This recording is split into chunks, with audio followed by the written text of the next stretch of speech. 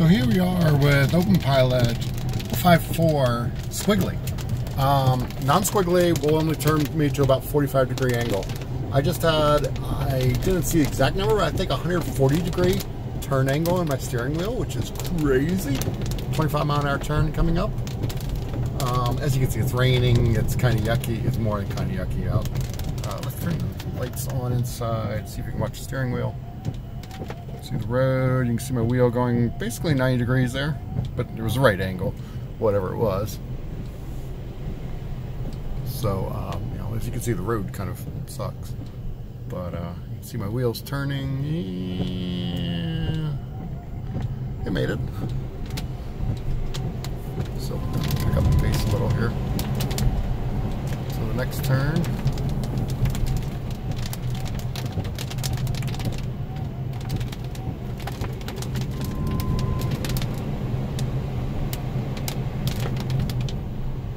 So here we go. Doesn't feel very comfortable here. And you can see my wheel is going nuts. It might make this turn. Uh, I don't have any idea what it's doing now. But yeah, you can see it turn 90 degrees and it sure did make it. That is crazy. Great job, George, on that. That's absolutely crazy good.